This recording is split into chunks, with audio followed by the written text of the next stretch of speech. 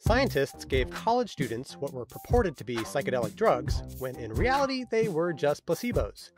To hear how that went down, it's time for Science in Seconds.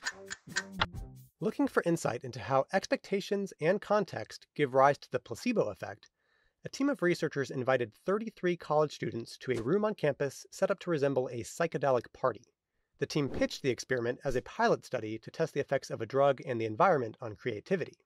Students arrived at 7 p.m. and soon received a pink pill that the researchers claimed included psilocybin, the active ingredient in psychedelic mushrooms. The students then spent much of the next four hours mingling among psychedelic paintings, changing color lights, and meditation cushions, along with paper and pencil crayons for drawing, while a projector played nonverbal films known for their stunning visuals. Sounds pretty groovy, but honestly, you know you've thrown a hell of a fake party when your paper's acknowledgments section includes shoutouts to a DJ and to university employees who lent their office beanbags. Beanbags, people! They had beanbags! But you know what truly took this scientific subterfuge up a level? The team also planted accomplices among the students. 15 minutes after everyone knocked back those pink placebo pills, the accomplices began to subtly act out psilocybin's psychedelic effects. One even told some participants, Your pupils are huge. Are mine like that?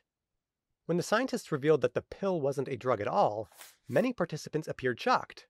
One of the participants who had sat with a group near the paintings throughout the study asked, So we were all sober and just watching these paintings for 45 minutes?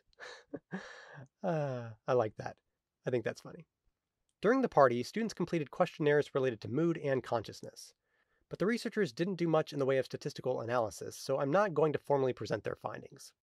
Let's just say if they'd shown the participants a pie chart illustrating how many of them reported feeling psychedelic effects, this is how 20 of the 33 might have perceived it.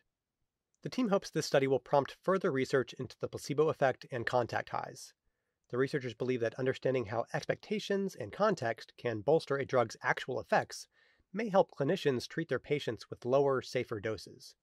Uh, full disclosure, though, we had to cover this study because the premise is strikingly similar to an idea Helen, one of our producers, had when we started Studies Show. To promote on the job creativity, she pitched the idea of staff taking daily psilocybin pills, which she assured me were actually placebos. The power of placebos is that even though I know that the pill does nothing, I still take one every day because it feels like it works. oh, now's as good a time as any to tell me what. You only told me they were placebos because you knew I wouldn't have gone for the idea otherwise. Yeah, definitely would not have. So you're telling me I'm. and the dose? Also high. Well, that would explain the whole cartoon deal. My pupils are huge? Studies show that liking and subscribing to channels like this one will make you feel super duper warm and fuzzy. You just have to believe it.